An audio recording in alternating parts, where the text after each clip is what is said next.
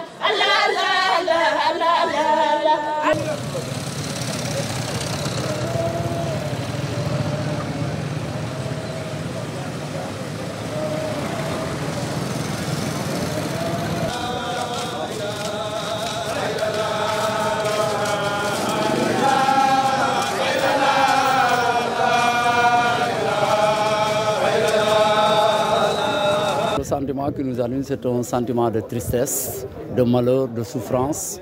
Et comme vous le voyez, presque toute la population de Giguinchor était au rendez-vous, euh, particulièrement regardez les jeunes, les lycéens, les collégiens et même ceux de l'élémentaire.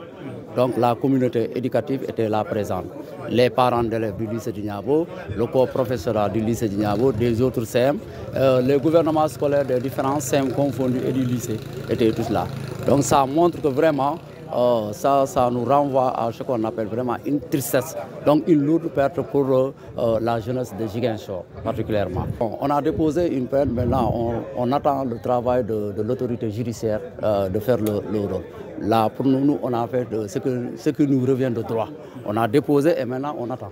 Donc on ne peut pas s'aventurer à parler quelque chose si on doit faire ça, il doit faire ça. Non, non. Nous, on, donne, nous, on a fait notre travail, on soumet ça à l'autorité judiciaire et lui, il fait son travail. Mais vous exigez, que la- Ouais, justice quoi soit faite, comme, comme d'autant pour les autres aussi. Donc euh, toujours, il faut, porter, euh, il faut euh, prendre des décisions. La famille s'est concertée, donc on a jugé nécessaire de porter plainte et d'éclaircir les choses et de savoir qu'est-ce qu'il faut faire.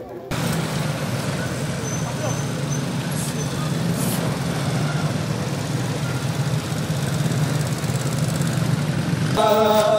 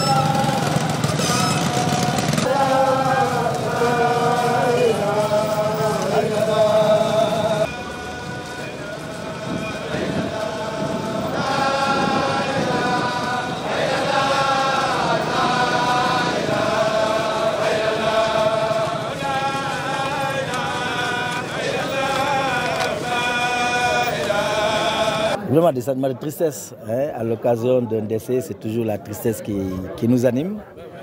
Et cette tristesse est, est- rendue beaucoup plus pénible quand il s'agit d'un adolescent, d'un jeune, hein, à la fin de l'âge, espoir de ses parents, euh, élève de circuit dans notre lycée. Il va sans dire que naturellement, ça a été un véritable choc pour toute la communauté éducative du lycée de Niabo, mais au-delà du lycée de Niabo, pour toute la communauté éducative tout court, j'allais dire, de la région de Ziguinchor et au-delà même du Sénégal. C'est pourquoi aujourd'hui, euh, cette tristesse-là qui nous anime, euh, à la limite, c'était, comme qui dirait un peu, le dernier acte, parce que depuis l'annonce du décès, hein, c'était vraiment pénible hein, de, de, faire quoi que ce soit au lycée Niabo. Il n'y a pas eu de cours depuis lors. Vous comprenez aisément que le, le climat ne s'y prêtait plus, euh, que les gens, euh, malgré la perte de nos élèves, de ce qu'on élève brillant, intelligent, mais surtout discipliné, que les gens aient la tête aux activités euh, pédagogiques. En tant que professeur, nous nous, inscrivons dans une dynamique de, dire, de, recueillement. Hein? Et comme je l'ai dit, ça a été plus pour nous au lycée Niabo un moment de recueillement. Ce n'était pas une, une, une, dire, une posture de faire grève pour euh, contester par rapport à quoi que ce soit, mais surtout pour nous recueillir sur la tombe, la mémoire de notre, pour les élèves de leurs de leurs camarades et pour nous autres professeurs, véritablement de notre élève. Hein? Et c'est pourquoi, comme j'ai dit tantôt, il fallait observer le deuil.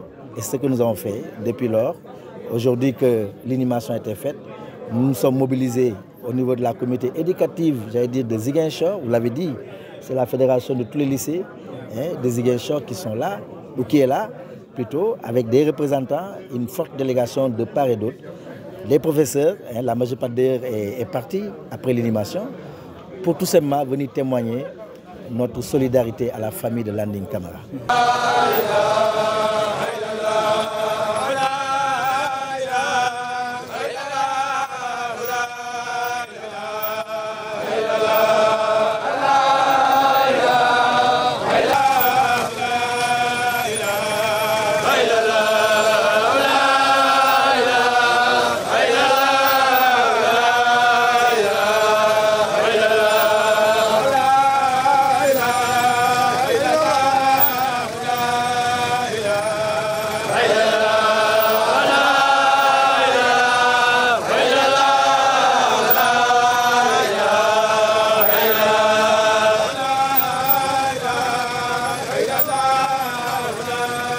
Jeune qui a à peine 17 ans, qui est en classe de seconde, un jeune porteur d'espoir et d'avenir.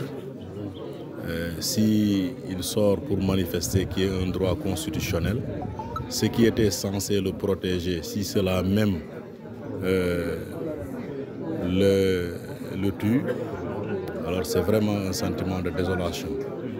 Un jeune qui devrait être protégé par les forces de l'ordre, qui devrait être sécurisé par ces derniers. Et malheureusement, c'est cela qui, qui l'ont tué froidement et lâchement. C'est vraiment euh, un sentiment de tristesse que nous éprouvons. Nous avons pris la tâche de l'Amnesty International pour que l'on prenne un avocat qui va se charger du dossier. Donc nous attendons que la lumière soit faite. Mais vu que depuis 2021, avec ces mêmes conditions, des doutes ont été tués, et jusque-là, aucun dossier n'a eu euh, de suite. Alors, euh, mais nous nous attendons à ce que vraiment la lumière soit faite. Et nous avons entendu les institutions internationales exiger que la lumière soit faite. Et nous également, ce que nous attendons.